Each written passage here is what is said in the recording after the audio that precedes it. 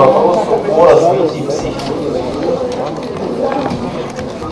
Сегодня во второй половине пары мы пишем с вами тест. И так как я надеюсь, что мы сегодня успеем закончить тему по психике, то на следующей неделе мы сразу пишем тест по третьей теме. То есть на следующей неделе у вас тест по третьей теме. Всего у вас будет 5 тестов в течение всего курса.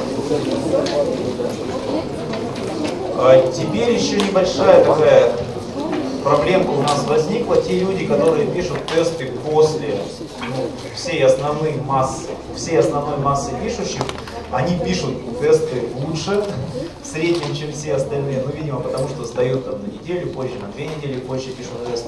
Поэтому у меня сразу объявление, те, кто будут переписывать тест позже, через неделю, то они автоматически получают за тест на 5 баллов меньше.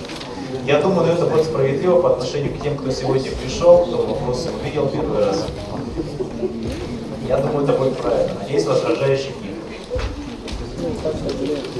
Ну, раз возражающих нет, тогда давайте начнем.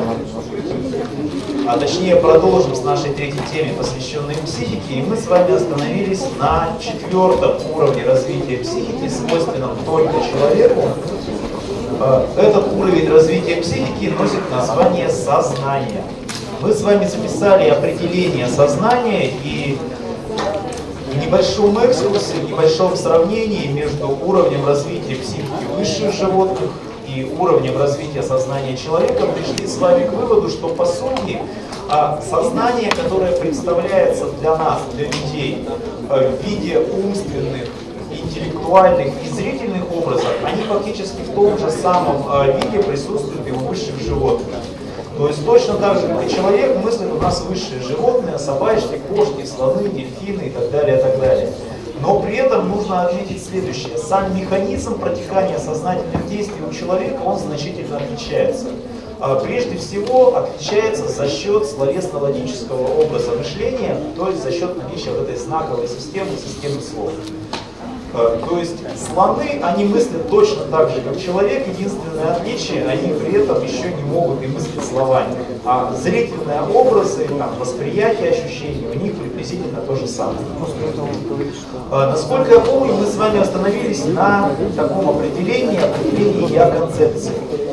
А, Это то, что есть у каждого человека. Давайте запишем, что это означает. Итак, я-концепция у нас заключается совокупности представлений человека, э, в совокупности представлений человека о самом себе,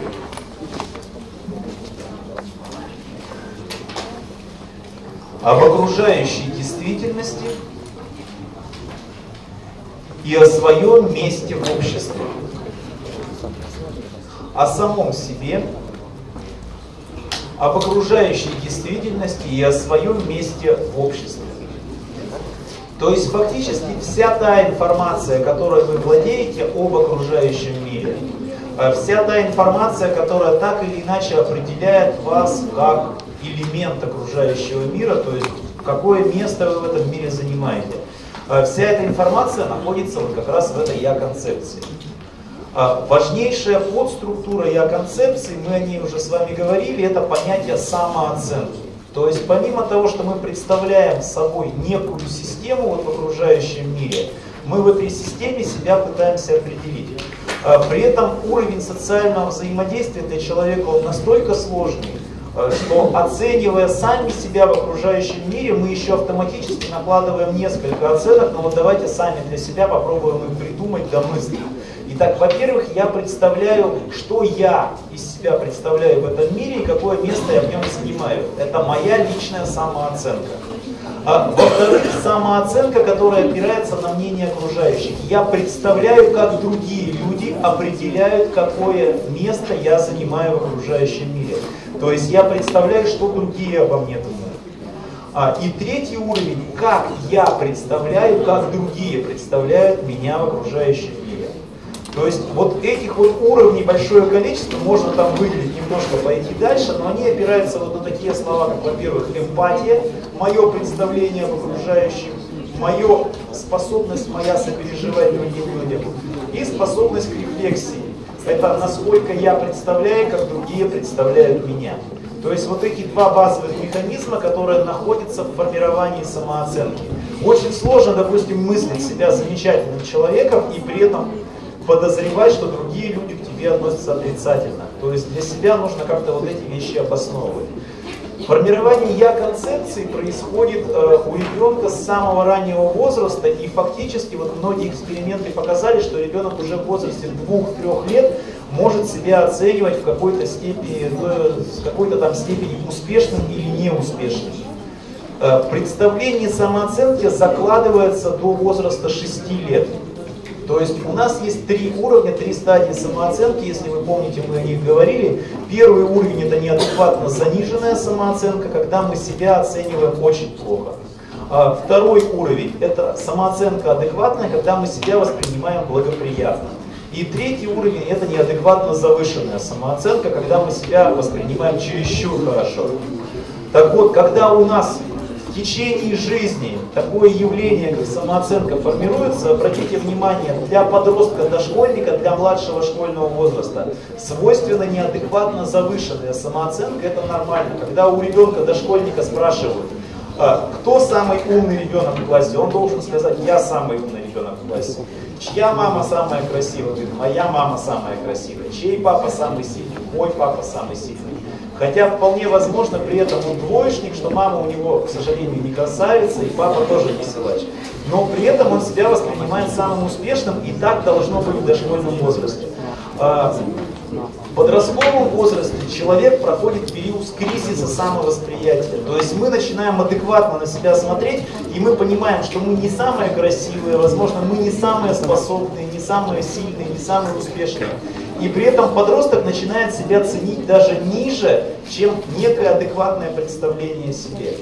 И многие вот эту вот позицию сохраняют на всю оставшуюся жизнь. Ну и считается, что в периоду взрослого возраста, то есть там периоду акме, это с 30 лет, ну и желательно, чтобы этот период начался где-то в возрасте профессионального становления, в период 18-20 лет, то есть в вашем возрасте самооценка приобретает некие черты адекватности, и она отражает объективный взгляд взрослого человека на самого себя и на окружающий мир. А что дает я-концепция в плане развития психики? А, базовая вещь которую дает я-концепция, вот это вот представление в окружающем мире, мы соответствуем той среде, в которой мы находимся. Мы адекватно ее воспринимаем. А инструмент, который позволяет адекватно воспринимать окружающий мир, различать хорошо или плохо то, что вокруг происходит, называется критичность. Запишите себе, что такое критичность. А критичность – это способность осознавать различия между хорошо и плохо. А благодаря критичности у человека появляются некие идеалы, некие представления о ценности. То есть мы какие-то вещи ценим, какие-то мы вещи не ценим. А при этом вот критичность, основана на я-концепции, она может быть свойственна не только отдельному человеку, но и неким социальным группам. То есть, например, вот в данном случае вы студенты физики. Вполне возможно, если я вам скажу, как вы относитесь там, к сериалу «Теория, большая взрыва», э, «Теория большого взрыва», скорее всего, вы его оцените положительно. Потому что он соответствует неким внутренним установкам, идеалам, ценностям о том, что такое хорошо, что такое плохо. Вот это вот ваше представление о критичности в пределах социальной группы. А, таким образом, если я скажу что-то, что не должно нравиться физикам, то вполне возможно, вы к этому будете относиться отрицательно. Каким образом человек усваивает вот эту оценку, почему мы вдруг догадываемся, что есть хорошо, что есть плохо. А, самая важная вещь, человек, который формирует я концепцию, он склонен многие вещи воспринимать не критично. То есть мы не воспринимаем и не осмысливаем многие ценности, которые у нас есть. То есть вы любите определенные фильмы, но не потому, что они вам как-то внутренне нравятся, удовлетворяют какую-то вашу потребность, а потому что ваши друзья, та компания, с которой вы общались в подростковом возрасте, они вам сказали, что вот эти фильмы хорошие, давайте смотреть их. И после этого человек уже начинает некритично к чему-то относиться, формировать те ценности, которые вы Итак, что дает человеку сознание? Запишите себе. Сознание дает человеку возможность действовать самостоятельно. Сознание дает человеку возможность действовать самостоятельно.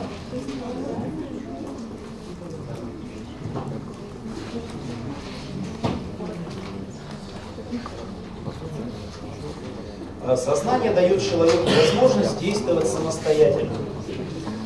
А, то есть, если мы видим с вами, что любое животное так или иначе в своей жизни опирается на взгляды, а, ну, не на взгляды, а на то, что происходит во внешней среде. То есть, животное что-то всегда побуждает снаружи то человек способен сам, во-первых, выбирать свою линию поведения, во-вторых, он имеет возможность определять сам для себя, что для него важно, что для него не важно. Вот эта вот степень самостоятельности означает, по сути, уровень развития сознания человека. И отметьте себе, что я-концепция у нас является все-таки ядром системы саморегуляции, и всю воспринимаемую информацию об окружающем мире человек преломляет вот через это вот ядро, по сути, через ядро своей личности. То есть все наши ценности, они преломляются через нашу личность. А все, что мы имеем возможность наблюдать в окружающем мире, так или иначе, обосновывается нашим предыдущим каким-то внешним социальным опытом. А, мы с вами, кажется, я вам показывал небольшой эксперимент с фигурами, помните? Там, где рисовали буквы А, О, Б, помните? Нет. Или не показывал? Нет, Вот давайте в качестве примера, если не показывал, покажу.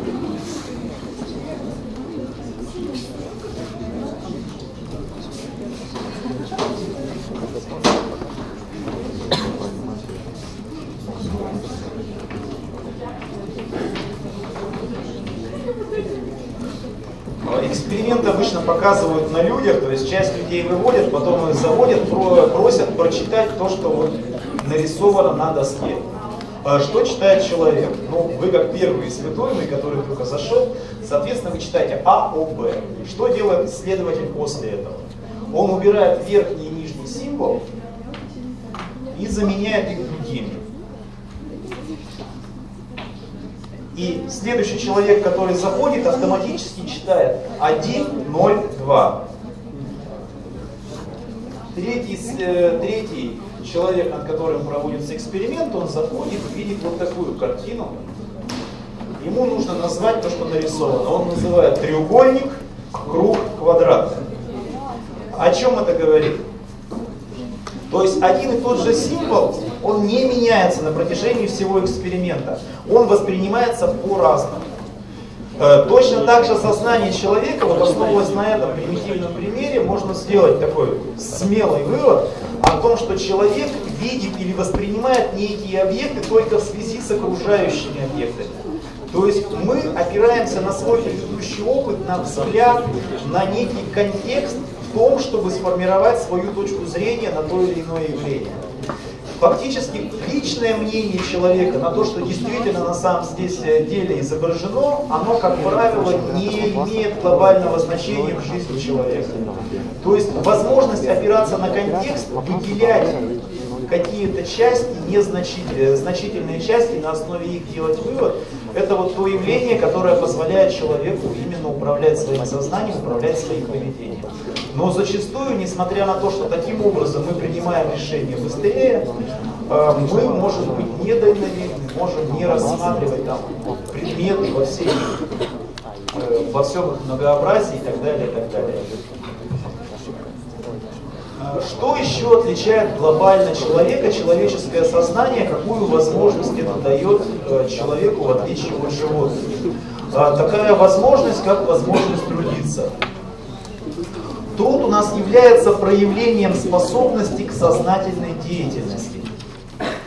А труд является проявлением способности к сознательной деятельности на основе реализации механизма формирования и оперирования психическими образами. А очень часто, когда вот начинают затрагивать вопрос с трудом, у многих возникает мысль, ну как же многие животные точно так же, как и человек, могут трудиться. Кто считает так же? Кто считает, что животное может трудиться не хуже, чем человек, и по сути это одно и то же. Остальные либо другую точку зрения имеют, либо вообще как бы не задумываются. А, на самом деле ни одно живое существо, кроме человека, трудиться сознательно, осознанно ставя само для себя цели, не имеет возможности. То есть тот же слон, который под присмотром человека выполняет какую-то рабочую функцию, а, не имеет сознательной цели добиться какого-либо результата. Но вот исключением, наверное, являются некоторые высокоорганизованные насекомые, там пчелы, муравьи, Бобры. Примером могут быть бобры, которые строят плотину и так далее, и так далее. Но по сути вот исследователи, зоопсихологи, которые рассматривают эти вопросы, они говорят о том, что поведение животных, они, оно во многом инстинктивно, то есть неосознанно. А труд у нас является именно представлением, э, поведением осознанным, с ярким представлением о той цели, которую может человек добиться. А если мы рассматриваем каких-то даже высших животных и рассматриваем их способы там, производства, их способы труда, вот, допустим, паук и его деятельность по ловле ну, других насекомых для того, чтобы питаться. По сути, это тот же самый труд, но паука, вы знаете, легко обмануть. Если вы будете дергать паутину, то инстинктивное поведение паука заставит его там бегать, искать тот объект, который дергает паутину и так далее, и так далее. То есть здесь какой-то осознанности, какой-то осмысленности в действиях нет. Таким образом, у нас труд – это одна из характеристик третьего уровня развития психики, четвертого уровня развития психики – развития сознания. Итак, мы с вами по уровням пси развития психики можем сделать следующий вывод. Развитие психики у нас проходит четыре стадии. А стадия первая. А, между прочим, можно себе отметить, что вот эти уровни развития психики животных организмов, живых организмов, мы берем по Алексею Николаевичу Леонтьеву. А немножко позже Алексей Николаевич доработал свою теорию, и мы с ней будем знакомиться в конце вот сегодняшней темы. И вот эта вот концепция развития будет носить имя Леонтьева Фабрик. Итак, уровни развития э, психики живых организмов по Леонтьеву включает в себя четыре стадии. Стадия первая – это раздражимость, когда живое существо всего лишь отражает ту объективную реальность, э, которая его окружает. То есть, по сути, мы каким-то образом меняем среду, и живое существо Э, пытаясь приспособиться, адаптироваться к тому, что происходит, пытается как-то там себя проявить. А на второй стадии развития, на уровне чувствительности, у живого существа появляются ощущения. То есть ощущения, чувства, аналогичные человеку. Это либо зрение, либо слух, либо чаще всего это просто осязание, но живое существо начинает их дифференцировать и начинает формировать внутри себя некий образ, субъективный образ окружающего объективного мира. То есть в каждом живом существе на втором уровне развития появляется представление о том, что его окружает. А это уже, ну, если далеко заглянуть, некие зачатки памяти, некие зачатки мышления. А на третьем уровне развития психики появляется поведение высших животных. Это поведение, которое опирается прежде всего на условные рефлексы. Об условных рефлексах о теории Павлова мы сегодня еще поговорим. И на последней, четвертой стадии развития мы говорим о сознании, то есть о некой осмысленности поведения, которой свойственно понятие «я-концепции», свойственно понятие критичности и способность к осуществлению трудовой деятельности. То есть то, что характеризует четвертую стадию, это сознание человека. Итак, четыре уровня развития психики живых организмов, раздражимость, чувствительность, поведение и сознание. Э, есть два базовых вопроса, которые всегда интересуют в развитии сознания исследователей. Вопрос первый. В чем, собственно, состоит функция сознания? Э, к сожалению, однозначного ответа у нас современная психологическая наука дать не может, но вот как бы обратитесь сами к себе, попробуйте себе вопрос задать. Зачем, собственно, человеку, ну то есть вам нужно сознание? А можем ли мы сказать, что сознание позволяет человеку быть более приспособленным к миру, а, чем, допустим, уровень поведения, уровень развития психики, поведения там, медведю, который живет в лесу? Вот представьте себя, поместите себя в лес, сможете ли вы быть более приспособленным к жизни в лесу, чем там медведь, чем волк, чем любое другое живое существо, для которого эта среда является родной родственной. А, к сожалению, скорее всего, нет. а, очень многие вопросы, которые касаются творчества человека. То есть, каким образом сознание человека дошло до возможности творить, там, рисовать картины. Каким образом мы можем сказать, что вот сознание человека, позволившее ему создавать культурные произведения, способствует лучшему выживанию. А, по сути, мы когда говорим про психику, мы говорим о том, что чем выше уровень развития психики, тем выше потенциал организма приспособиться к окружающей среде. То есть выше способность выжить. А, сознание, по сути, этой способности не удовлетворяет. Тогда почему мы говорим о том, что человек, как сознательное существо, имеет возможность а, лучше приспосабливаться к окружающей действительности? На самом деле в психологии все-таки базовой целью сознание называют все-таки обеспечение адаптации.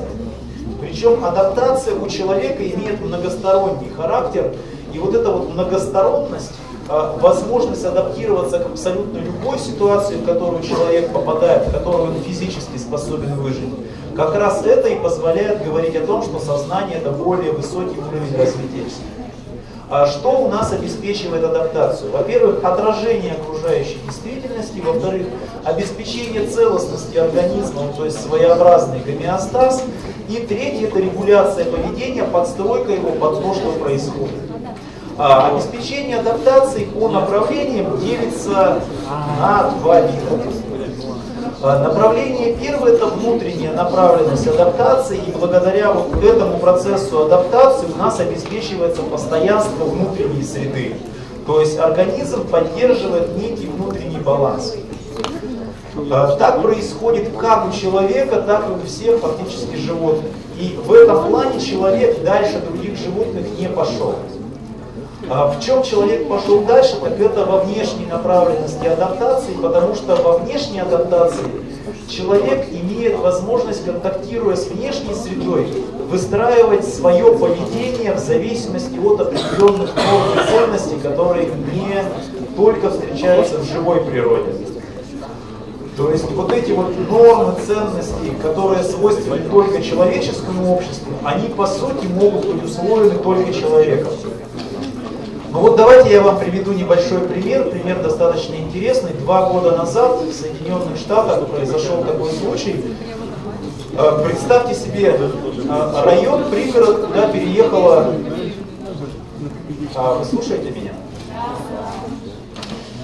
Честно говоря, я бы, знаете, что вам посоветовал. Если вы очень хотите поговорить, вы можете выйти из аудитории, ну, потому что на самом деле работать тяжело. А, итак, семья молодая, муж, жена, двое детей приехали в пригород, купили себе дом, а, и они таким образом стали являться представителями среднего класса. А, традиционно летом все семьи этого района выезжают за границу ну, для того, чтобы отдохнуть. Ну и в какой-то период они предупредили своих соседей, что они точно так же уезжают, что там в ближайшие две недели их могут не беспокоить. И две недели их не было.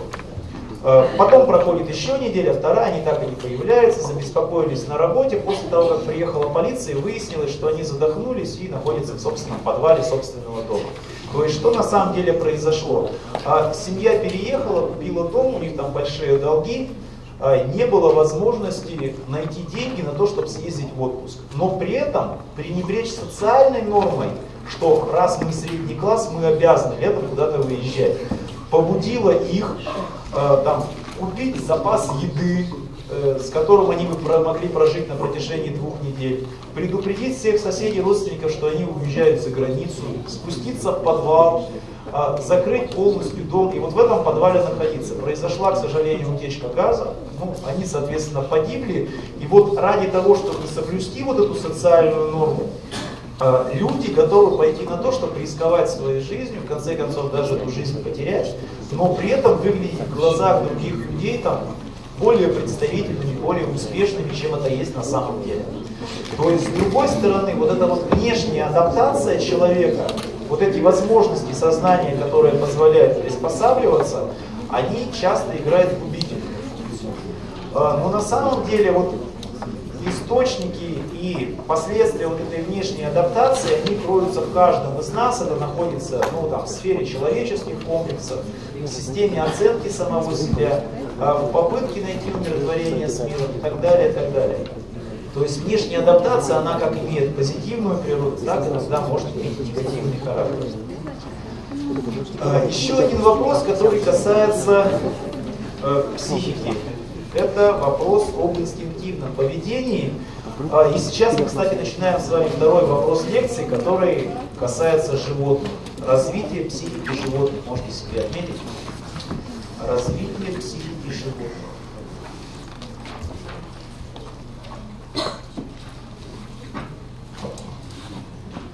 А, развитие психики животных. А, второй вопрос, кстати, вот когда мы говорили с вами про функции психики, второй вопрос, который базовый касается психики, это проблема ее происхождения. То есть, что, собственно, побудило психику появиться. Ну и традиционно мы с вами придерживаемся в, этой, в этом вопросе, в, его, в ответе на этот вопрос теории Чарльза Дарвина, и теории происхождения там, жизни опарина, если помните, там, теория образования коллекционных капель, которые там, там, имели возможность поддержать внутреннюю среду, которые выживали и так далее, и так далее. Ну вот э, современная наука, в частности, приводит два факта, которые ну, негативно оценивают теорию Чарльза Дарвина, и причем вот эти вот факты принадлежат кустам физиков, я думаю, что вам по крайней мере, интересно с ними в какой-то степени познакомиться. То есть, во-первых, теория образования жизни, с этих вот э, капель, из которых потом произошла первичная клетка.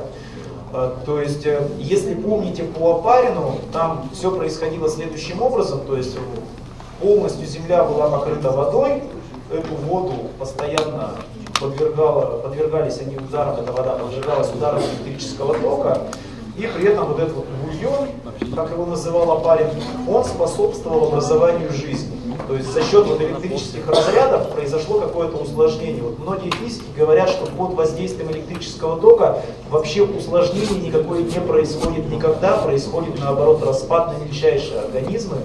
И если даже какая-то жизнь была, то она бы, скорее всего, в такой среде была уничтожена. А, и второй факт, который, ну, который приводят, как правило, зоологи, вот теория Чарльза Дарвина, она подразумевает развитие некое древовидное. Обычно еще в кабинете биологии, в школе все помнят вот это вот дерево происхождения видов. И между типами не найдено ни одного промежуточного вида. То есть, казалось бы, вот птица была такой, ну, то есть развитие себе представляете поэтапное. И мы всегда имеем дело с каким-то законченным этапом, с каким-то законченным видом живых существ. Но промежуточные типы между этими видами, они никогда не, не были найдены.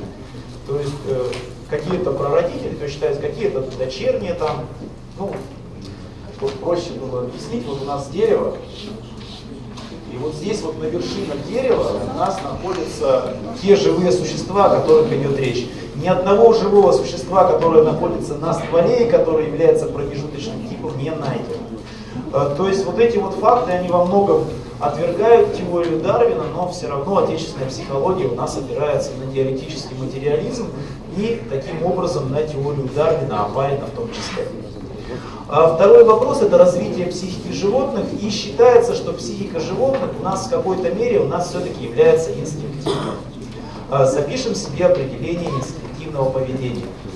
Итак, инстинктивное поведение – это видовое поведение, одинаково направленное у всех представителей одного и того же вида животных.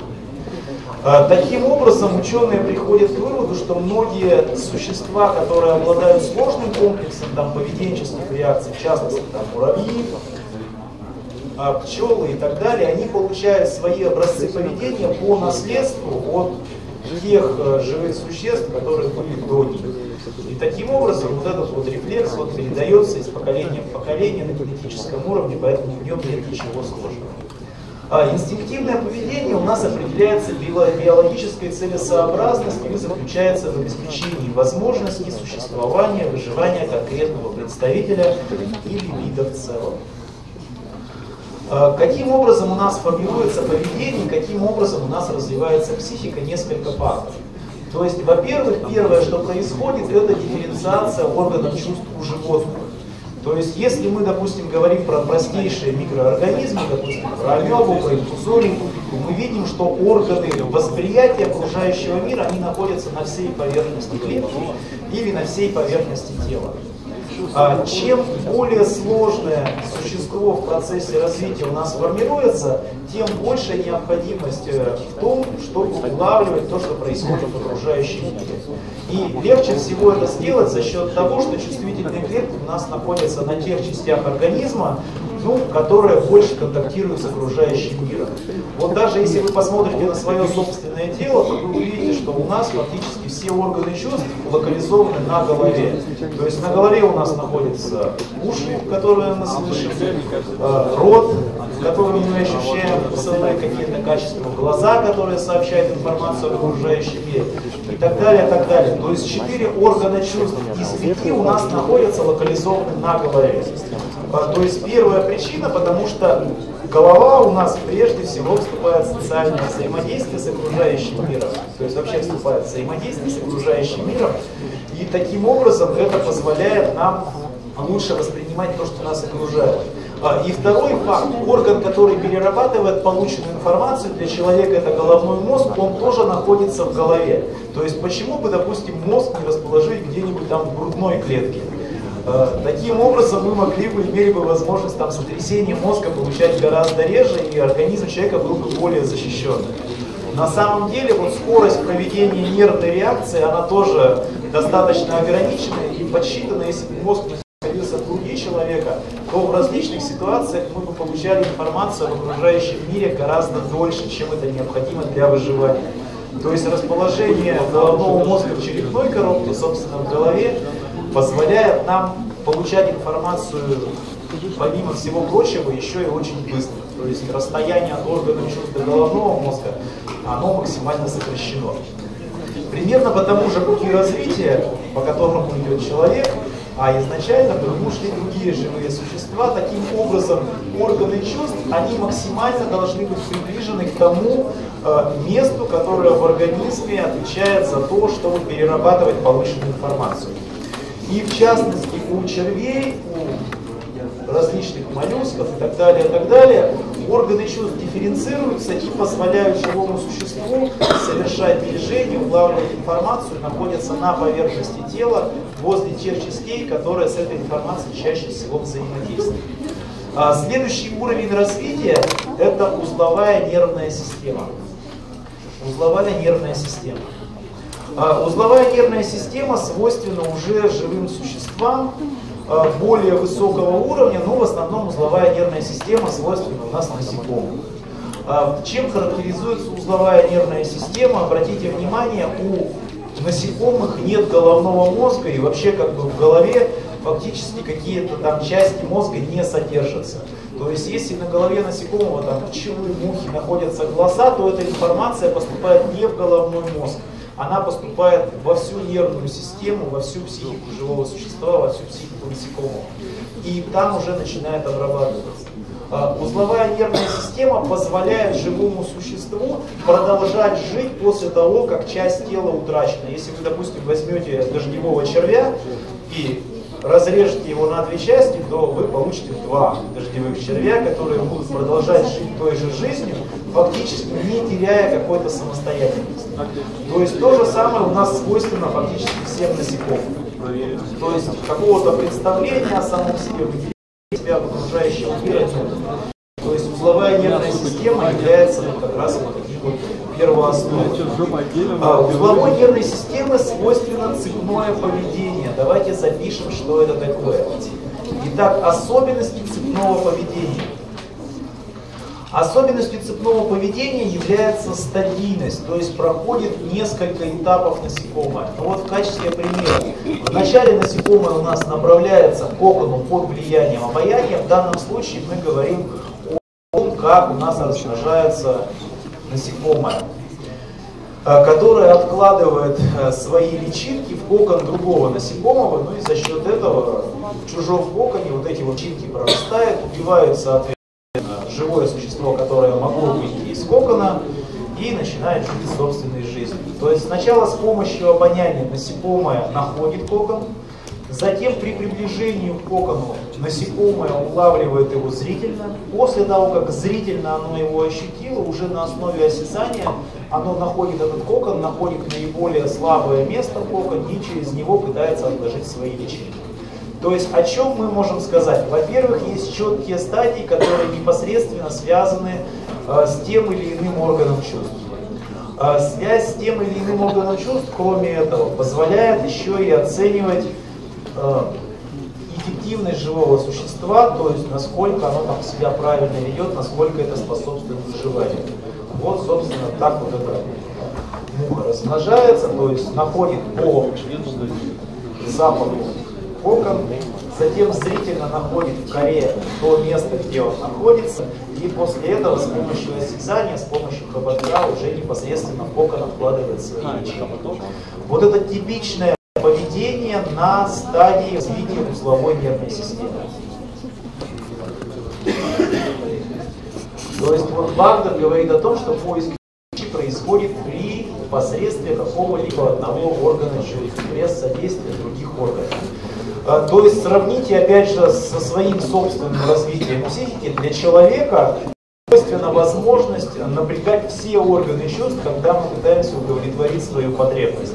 То есть, если вы там захотели есть, пробуйте нам найти какое-нибудь кафе или еще что-то, то вы опираетесь и на свой предыдущий социальный опыт, и на свои зрительные ощущения, и на свое обоняние и так далее, и так далее.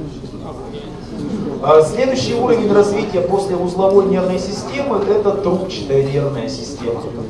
А чем характеризуется трубчатая нервная система? Появляется вместо а, каких-то отдельных узлов появляются нервные тяжи. Нервные тяжи – это что-то напоминающее, ну, в организме человека естественно, головной и спинной мозг, а в организме простейших животных это нервный тяж, который э, в начале в районе головы имеет некое уплотнение, образование, которое называется мозговым пузырем. А, Причем, если обратите внимание, то вот уже когда у рыб формируется этот мозговой пузырь, он начинает дифференцироваться на три отдела, точно так же, как дифференцируется на три отдела у человека. А, у рыбы это передний мозг, это средний мозг, это продолговатый мозг. То есть за что они отвечают? Передний мозг отвечает, как правило, за принятие решений, а средний мозг отвечает за память, и продолговатый мозг отвечает за передачу и обработку первичной информации от тела живого организма. А Причем, если посмотрите, вот там вот между продолговатым мозгом и средним мозгом находится мозжечок. Это вот тот орган, который присутствует как у живых существ, у которых появляется мозговой пузырь, он есть и у человека. Мозжечок отвечает за ориентацию в пространстве и прежде всего фиксирует, дает возможность ориентироваться, соблюдать какую-то координацию движений. А у человека он точно так же находится чуть-чуть за продолговатым мозгом, ну если так можно говорить про сложный головной мозг человека, то есть находится где-то вот в районе затылка. Если вы так себя немножко постучите по затылку, то у вас возникнет ощущение потери ориентации в пространстве. То есть вот это вот легкое головокружение, это результат сотрясения мозжечка как органа, который пытается вас в пространстве скоординировать. А я прошу сильно друг друга по голове не стучать, потому что это может привести к травме, которую очень не хотелось бы, чтобы не получили. Я думаю, что мне сложно будет вашему деканату объяснить, как получилось, что у меня половина студентов с средним головного после занятия. Итак, трубчатая нервная система – это следующая стадия развития нервной системы, которая позволяет прежде всего что сделать? Ребята, давайте потише. Давайте успокоимся. Больше не будем друг друга бить по голове. Так, успокоились? Итак, что позволяет сделать трубчатая нервная система? Она прежде всего позволяет централизованно получать и обрабатывать информацию из окружающего мира. Получать и обрабатывать информацию из окружающего мира. Это то преимущество, которое дает трубчатая нервная система. Ну и, наконец, мы, когда говорим про третью стадию развития психики живых существ, говоря о поведении, мы говорим о том, что физиологической основой поведения животного на этой стадии являются процессы образования нервных связей в коре больших полушарий. Это условные рефлексы. Запишите себе. Условные рефлексы опираются на образование нервных связей в коре полушарий головного мозга. В коре полушарий головного мозга.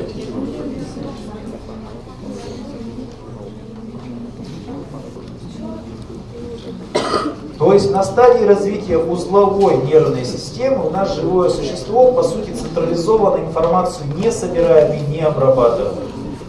На стадии развития трубчатой нервной системы эта информация начинает скапливаться, она поступает в какой-то тяж, который находится во главе головного мозга, мозговой пузырь, и там обрабатывается. Немножко позже, для того, чтобы живое существо могло лучше адаптироваться к тому, что происходит вокруг нее, оно начинает выделять себя из окружающего мира и строить свои комплексы поведения.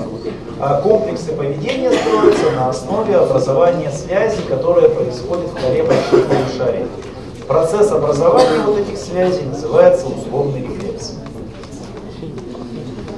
А, разработка и вообще введение понятия условного рефлекса в науку а, и автором теории условных рефлексов был Иван Петрович Павлов.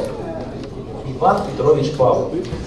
А в своей работе Иван Петрович Павлов открыл четыре базовых принципа и закона, которые касаются образования нервных связей, образования условных рефлексов.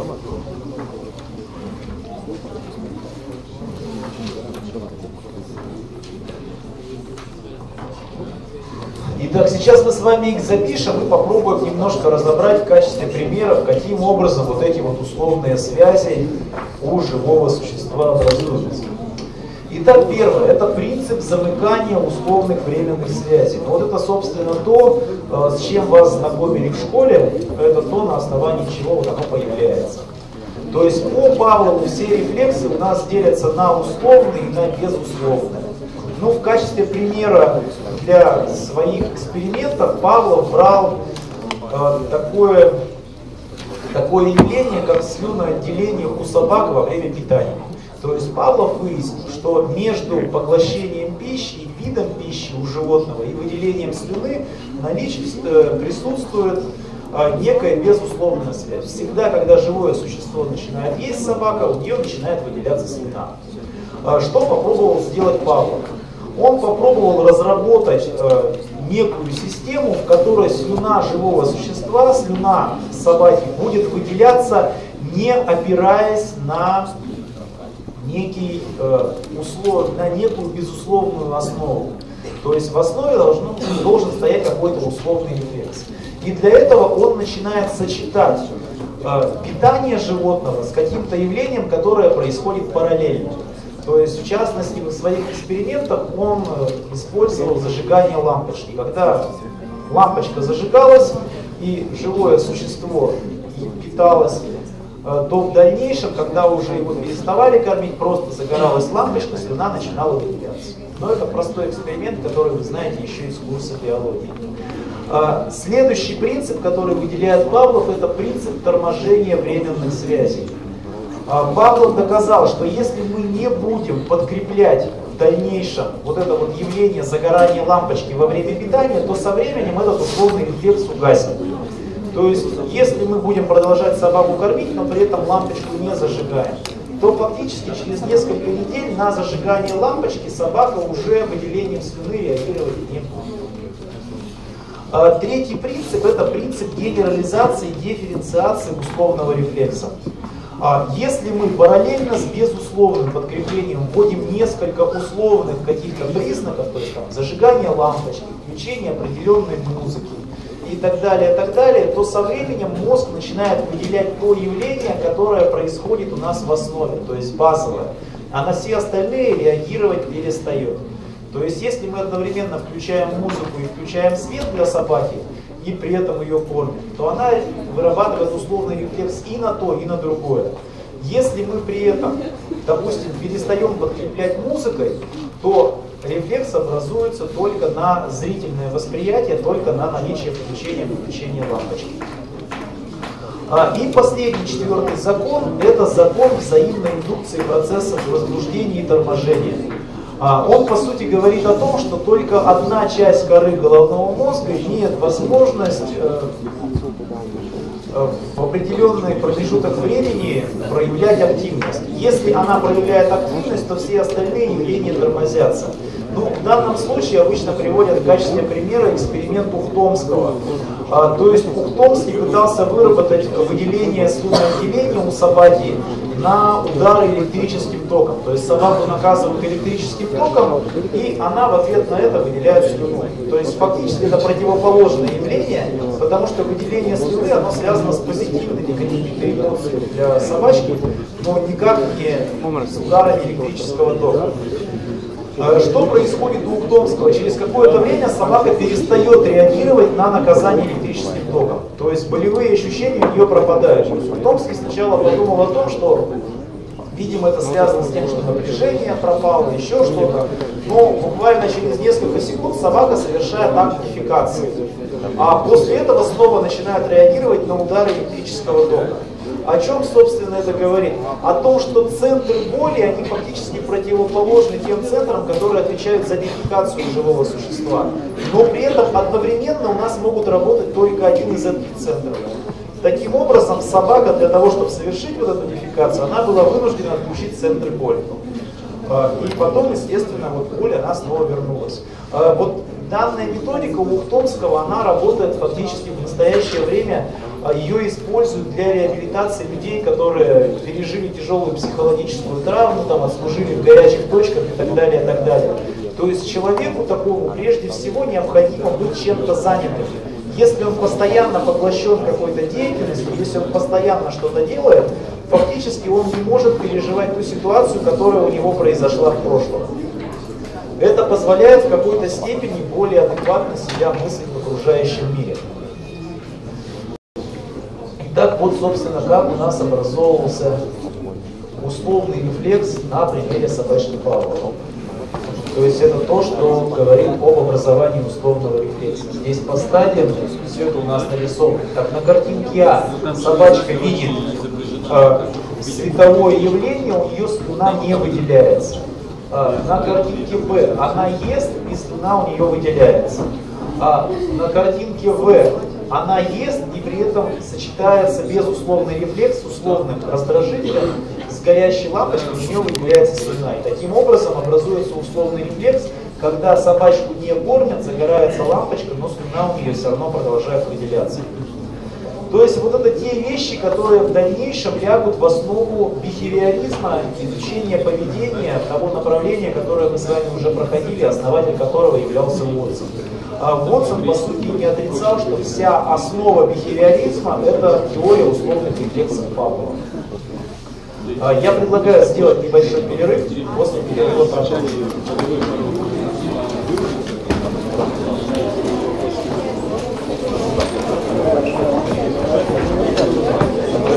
Вот, собственно, эксперимент Павла, как он проходил, это фрагменты из иностранного фильма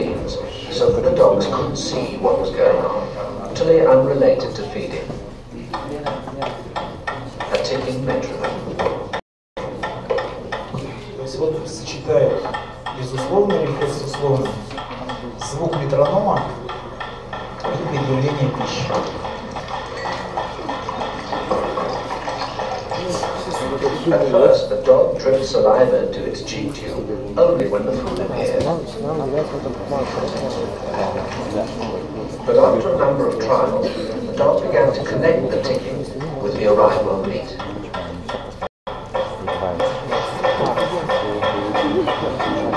Метроном звучит, но собаке пищи не дает.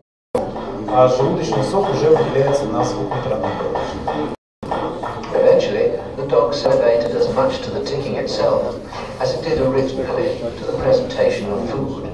Hold there. Идите сюда. Что я говорил? Вот так вот Павлов совершил свое великое открытие. А, ну, здесь есть разные точки зрения. Кто-то говорит, что издевался над животными, кто-то говорит, что нет. Но, между прочим, надо отметить, что Иван Петрович Павлов у нас был Нобелевским лауреатом. Нобелевскую премию, кстати, он получил не за условные рефлексы, а как раз вот за возможность вживить вот эту вот шут э, в желудок собаки, потому что все попытки до него проводить аналогичные эксперименты, они заканчивались смертью собаки, но потому что желудочный сок, он истекал внутрь организма животного, и оно погибало. То есть Павлов первый, который смог вот такие операции начать проводить, за это получил Нобелевскую премию.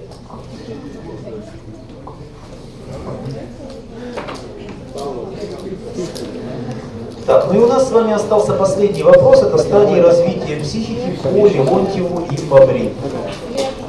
Не читай.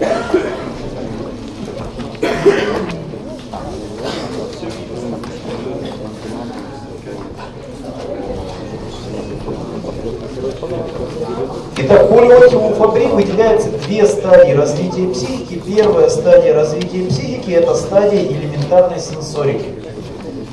Запишите себе кратко, причем обратите внимание, у нас сейчас будет два слайда. Вот это первый слайд, и вот у нас следующий слайд. Первый это стадия развития психики животных, а второй слайд это особенности поведения у различных животных. Поэтому как-то постарайтесь на листе расположить, чтобы вы кратко могли сами для себя отметить стадия развития, уровень и особенности поведения немножко правее свойственны для той или иной стадии. Итак, первая стадия – это стадия элементарной сенсорики, которая делится на два уровня. На низший уровень и на уровень высший. На низшем уровне стадии элементарной сенсорики для организма свойственны примитивные элементы чувствительности. Ну, по сути, здесь просто развита раздражимость. Раздражимость. И на высшем уровне стадии элементарной сенсорики мы можем говорить про наличие ощущений. А вторая стадия развития психики по Леонтьеву Фабри – это стадия перцептивной психики. И здесь мы говорим, во-первых, о низшем уровне, о высшем уровне и, в-третьих, наивысшем уровне развития психики. На низшем уровне у нас происходит отражение внешней действительности в форме образов предметов. В форме образов предметов.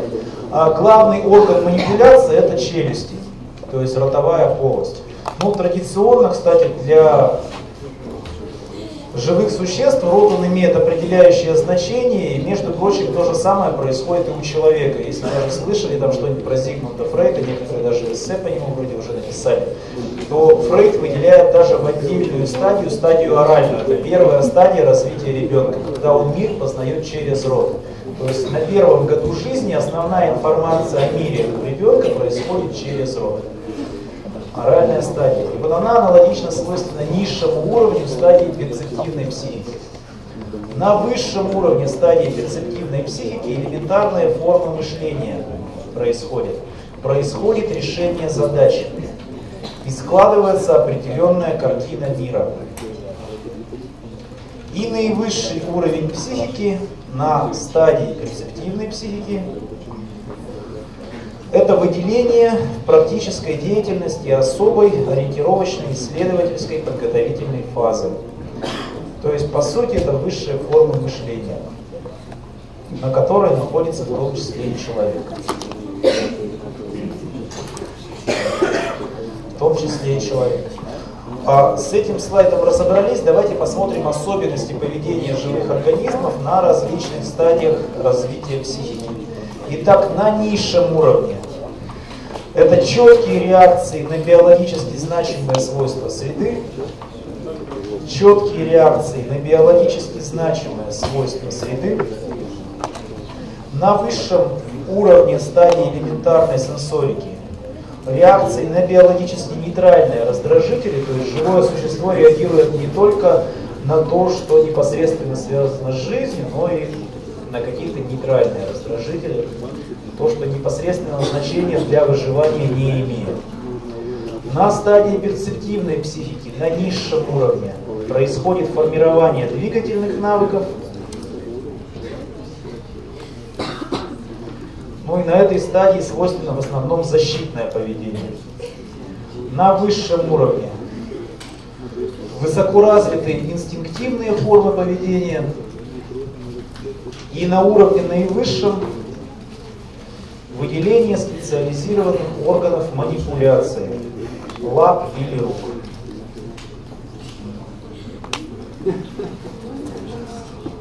А презентацию эту я вам сегодня вышлю.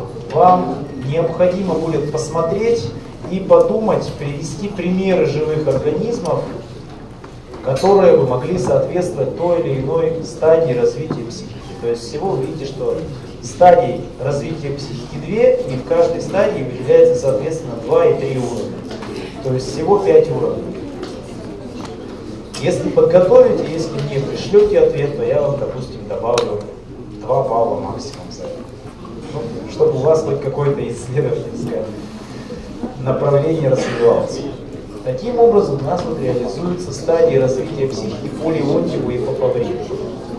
А кроме этого, давайте с вами отметим, а, проходили современные исследования живых существ, исследования стадий принятия решений. Вот какие результаты были отмечены на животных высокого уровня. А, то есть каким образом вообще эксперимент проходил? Представьте себе э, высшее существо примата, помещенного в клетку, где ему нужно решать исследовательскую задачу, то есть обезьяна, находящаяся в клетке. А обезьяна у нас мотивированная, то есть она хочет кушать, ей предъявляет ту вещь, которая, безусловно, является источником ее активности, то есть пищу. А, допустим, банан. Банан находится высоко, и дотянуться до него обезьяна не имеет возможности но рядом с обезьяной э, лежит палка, которой она может воспользоваться для того, чтобы этот банан сбить.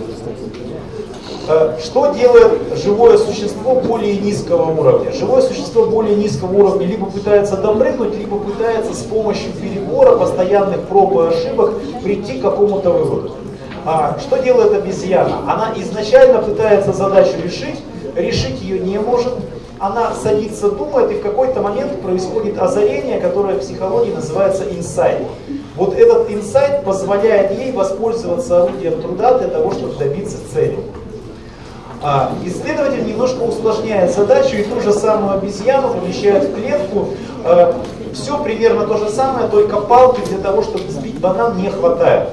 А при этом рядом с клеткой вне доступности для руки, но с помощью палки, которая есть в клетке, э, находится еще одна длинная палка. То есть надо просто взять короткую палку в клетке, подтянуть ей палку, которая длинная за клеткой, и той длинной палкой сбить банан. И здесь задача решается обезьяной гораздо быстрее. Почему так происходит? А, потому что обезьяна улавливает образ действия. Решение у нее за счет предыдущего инсайта уже есть, что можно воспользоваться палкой. Поэтому второе решение приходит для обезьяны гораздо быстрее. А что происходит дальше? А следующий эксперимент связан со следу... Э, с такой ситуацией. Палку обезьяне больше не предлагают, но предлагают вместо палки другой предмет, который похож по форме, в частности лестницу. И обезьяна может воспользоваться другим предметом, используя его свойства по аналогии. То есть она берет лестницу, но она не забирается по лестнице, а на лестнице пытается сбить банан. Таким образом, живое существо высокого уровня может уже использовать некие аналогии. Ну и в конце концов, использование нескольких сложных предметов для достижения своей цели. То есть вот эти вот все свойства показывают о том, что психика живых существ высокого уровня, она гораздо э, более развита, чем у примитивных существ.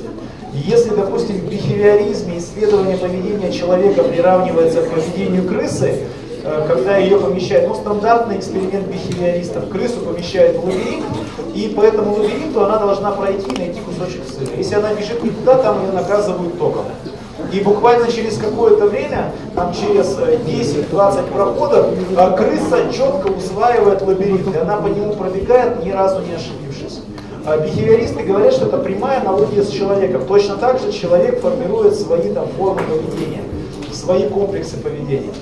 А на самом деле, как мы видим из экспериментов Павлова и его последователей, более более позднего периода, чем исследования бихевиористов, мы видим, что приматы и вообще животные с более высокими более высоким уровнем развития мышления и психики позволяют многие задачи решать за счет инсайта, за счет озарения и образования некой интеллектуальной схемы. И с помощью вот этой интеллектуальной схемы вопрос уже начинает решаться. Ну вот таким образом мы, в принципе, с вами рассмотрели тему, которая была посвящена психике. Следующая тема у нас будет посвящена сознанию. А в теме психика мы с вами прошли четыре стадии развития психики.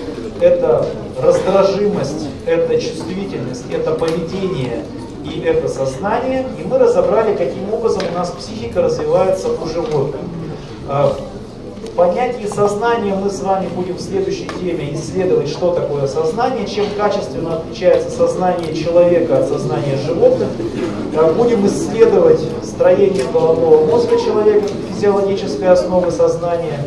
И будем разговаривать о том, каким образом формируется сознание человека в зависимости от возраста. То есть как формируется сознание, почему сознание появилось именно таким, какое оно есть. А ко мне в перерыве подходили, спрашивали по поводу интеллектуальной схемы, но так как вопросы достаточно типичные, я вам попробую все вместе это объяснить. То есть, что у нас важно, чтобы у вас, что мне важно, чтобы у вас было в интеллектуальной схеме. А, Во-первых, общее количество элементов, которые вы рисуете. То есть вам нужно, чтобы у вас в схеме было не менее 30 элементов, это кто будет рисовать схему. Если вы не хотите рисовать схему, я вас не обязываю, вы можете спокойно сдавать экзамен.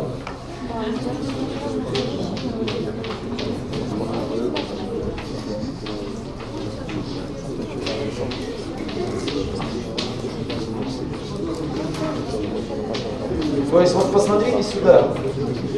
Во-первых, не менее 30 элементов всего. Во-вторых, не менее трех уровней. То есть вот раз уровень, от него идет второй уровень, от него идет третий уровень.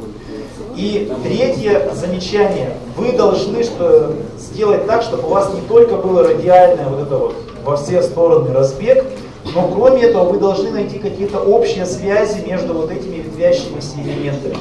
То есть, либо это что-то будет, ну вот в качестве примера, допустим, вы говорите о типах нервной системы, вот как мы сегодня их разбирали. То есть вот на этой стадии вы говорите, что это узловая нервная система и так далее, так далее, так далее. На третьем уровне вы выводите какие-то определения, и при этом вы находите внутренние связи за счет стадии развития психики, допустим, по Леонтьеву Фабри. То есть вот сбоку схема Леонтьев Фабри, те стадии, которые есть, и вы вот здесь находите внутренние связи, которые у вас сходятся вот на этой вот шкале, и при этом они сходятся к какому-то единому элементу в основе. А, по сути, это творческая работа, ее вот так вот спрогнозировать вам и описать, как ее сделать, очень сложно. Но обратите внимание, три элемента. Первое, не менее трех уровней. Второе, не менее 30 элементов. И третье, внутренние связи между ними. То есть мне сдавать просто, допустим, там, методы психологии. Вот здесь методы, здесь тестирование, здесь анкетирование, здесь там еще что-то, еще что-то, эксперимент. Поставьте мне 20 баллов, я сделаю интеллектуальную схему. То есть вы как-то отнеситесь более серьезно к. Если вы не хотите его делать, если вам это сложно, то вы его просто не делаете. Потому что очень бы не хотелось, э, чтобы вы потом меня доставали и мне говорили о том, что вы нарисовали гениальную схему, а я ее не оценил. Поэтому, если для вас это сложно, вы ее просто не делаете. Хорошо? Ну что ж, замечательно. Давайте